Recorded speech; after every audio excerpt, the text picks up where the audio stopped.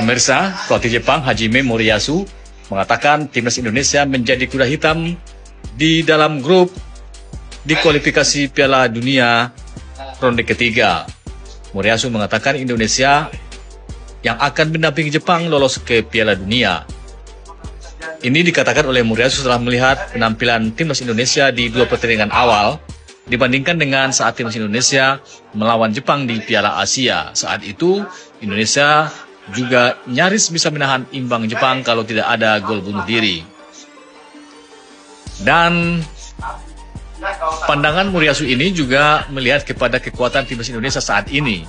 Dan di grup sendiri saat ini Jepang memimpin klasemen sementara Indonesia di peringkat 4. Jika prediksi dari Moriyasu ini benar, maka Indonesia akan diprediksi menjadi peringkat kedua di dalam grup.